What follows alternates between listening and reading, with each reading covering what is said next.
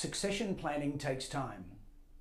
When you go into business, follow a lead from the book by Stephen Covey using one of his seven habits of highly effective people. Begin with the end in mind.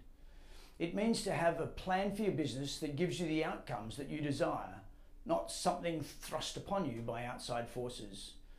You are the master of your own destiny, so plan to get the outcomes you desire. Succession, the act of passing the business on, requires planning and time.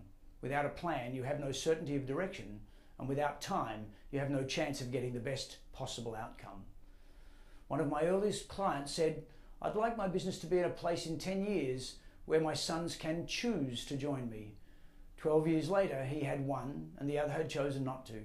His plan, some 10 years in the making, saw a successful outcome for him and for the family business. The business owner who one day decides he or she has had enough will see a very poor return for the years spent in developing the business. For further business improvement tools, visit us at brightwater.com.au. I'm Anthony Davis, boosting your way to business success.